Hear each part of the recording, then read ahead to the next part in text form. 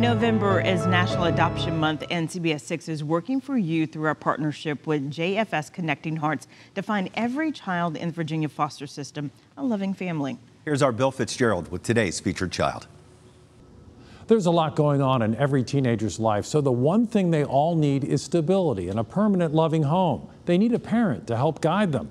More than half the 800 children in foster care in Virginia are teens, wondering, am I going to face life's challenges alone? If you're not sure that you'll know what to do with the teen, consider that the parents who've adopted or fostered teenagers say their role came totally naturally. To bring them into a loving home who's going to be there day in, day out, nighttime, morning time, and interested in what they're doing, not just, all right, see you tonight at dinner. You know, oh, if you come back around 10 o'clock, we'll have some. No, we're interested in everything he does. He's our just kid. like our regular kids. He's just our kid. You know? And if you treat them, I don't want to say them, and you, the, the kids need to be treated like they belong.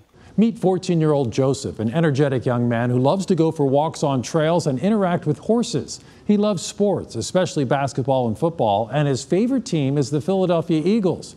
Joseph likes to collect seashells and play outdoors. He's very polite and talkative, especially when you ask him about his favorite subjects. If you'd like to know more about fostering or adopting Joseph, just go to WTVR.com and look for a hand to hold.